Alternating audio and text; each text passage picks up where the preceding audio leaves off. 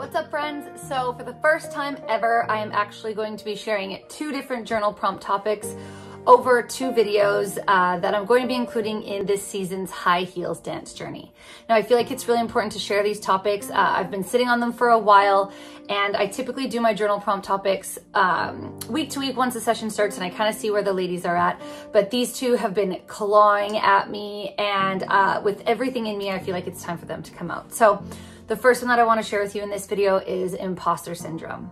Now, if imposter syndrome, you can Google it and there will be so many different incredible definitions of what this is. I didn't actually know that I had lived with imposter syndrome heavily for as long as I can remember. I always just stamped it as a lack of confidence, but imposter syndrome is so much more than that. And I spent so many years working on gaining confidence, not realizing that I wasn't I wasn't focusing in the right direction. Yes, confidence is a, a major part of imposter syndrome.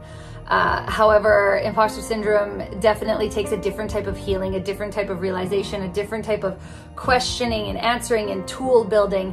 And it wasn't until this last year that I realized there's this whole community of people uh, just like me with these thoughts. And it really hurt at one point to realize how much I've held myself back because of not realizing what this situation I was uh, experiencing was.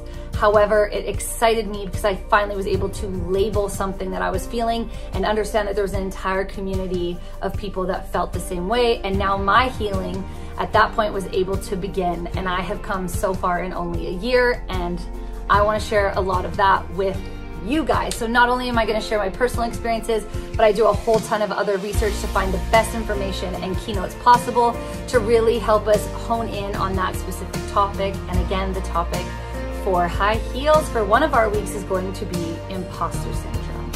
So I hope to see you there. I hope that you will be ready to go in on this with me. And I love you guys.